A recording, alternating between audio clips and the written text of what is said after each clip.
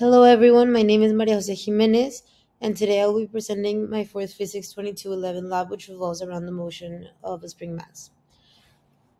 The purpose of this lab is to study the motion of mass as it oscillates through a spring. These are the steps that we will be taking today. First, we will be extracting the data from a video of a mass oscillating on a spring while swinging in orbit in motion. Then we'll compare this model to a computational model constructed on the GlowScript software in order to understand and predict motion and the energy changes that occur because of this. The principles involved include a few formulas, such as Newton's second law, and we know that change in momentum over time is the net force. Change in momentum can also be stated as mass times change in velocity all over change in time.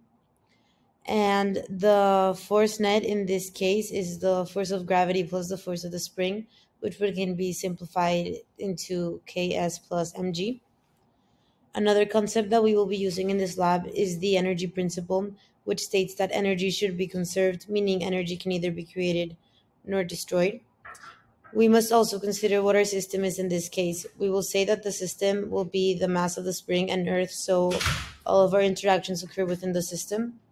Thereby, there will be no work involved since there are no surroundings.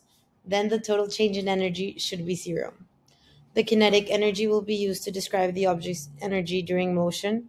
The potential energies will used will be the spring potential energy, which will be non-constant depending on where the mass is and how far the spring is stretched. The gravitational potential energy, which will show how gravity will impact the mass and we will use the tracker software to help us extract the data from the video so we can measure the motion of the mass. Its initial position and velocity were previously given to us from a pre-lecture video and can be determined from the graph and the oscillation time, which was, um, sorry, determined by the graph, which is approximately 1.5 seconds. Here we can see my video in tracker.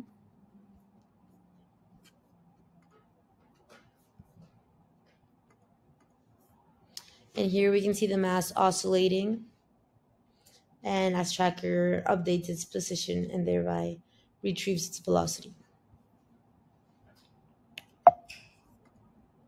Physics.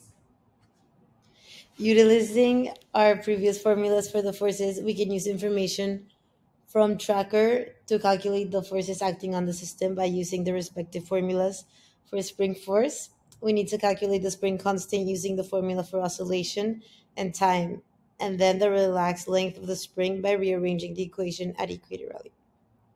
Now we can take this information and plug it into our code on GlowScript. The initial position, ball mass, and initial velocity are the same ones used in the tracker software, and delta t is taken to be relatively small for a small to have more accurate inter, inter iterations. We plug in the relaxed length and the spring constant previously calculated, as well as the formulas for stretched update, kinetic, gravitational potential, and speed potential energies. And then we add all of our energies up to find the total energy net code. As we begin iterating, the total time is approximately 9.5 seconds. The initial energies will then need to be updated inside the loop. The forces are calculated using Newton's second law and position update formula. The spring is updated using the same steps. And all of this leads us for our code to be ready and to be run and so we could extract our data. This is a side-to-side comparison between the predicted and computational model.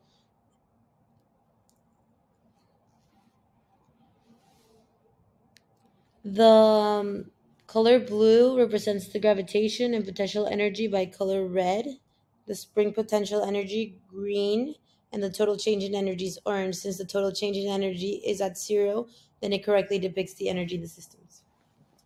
The second and third graph shows a comparison of the predicted model in blue versus the experimental model in 1 and x and y components, and there are some discrepancies over time, which could be due to a neglected drag force. And what does this all mean? We could further ask ourselves if the energy principle is satisfied. So, since the energy principle states that the energy of a system is equal to the energy of the surroundings, and in this case, since we mentioned before, there are no surroundings, so there should be no change in energy,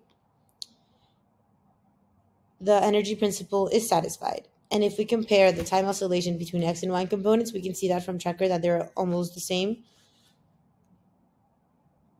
They're almost the same, which concludes that yes, the energy